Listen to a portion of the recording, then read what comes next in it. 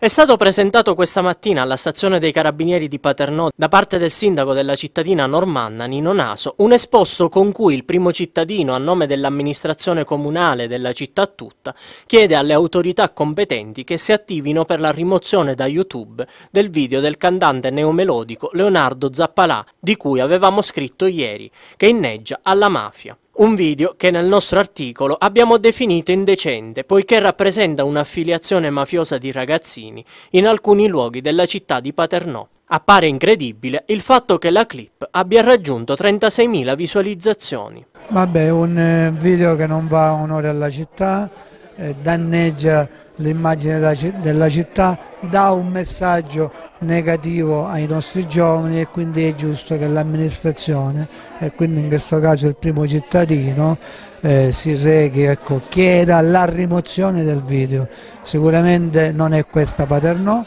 Paternò è, Paternò è una città fatta da tanta gente che lavora, tanti giovani che si spendono nel sociale, che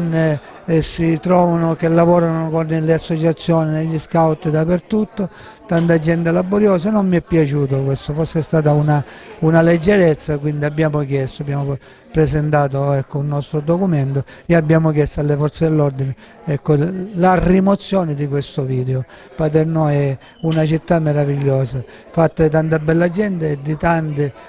e di tanti luoghi simboli, vedi, vedi il nostro meraviglioso castello normanno, vedi le nostre meravigliose eh, salinelle, ecco la dobbiamo pubblicizzare per questo, per le bellezze che abbiamo. IV24 nella giornata di ieri aveva deciso di non pubblicare il video per non contribuire alla diffusione di un cortometraggio indecente che inneggia alla mafia e che rappresenta un oltraggio alla città di Paternò, alla Sicilia tutta e a coloro che rappresentano i siciliani onesti. Il cantante neomelodico Leonardo Zappalà aveva utilizzato in passato all'interno della trasmissione Rai Reality delle parole forti rivolte contro i giudici Falcone e Borsellino. In quell'occasione aveva dichiarato dichiarato queste persone, Falcone e Borsellino, che hanno fatto queste scelte di vita lo sanno le conseguenze. Come ci piace il dolce, ci deve piacere anche l'amaro.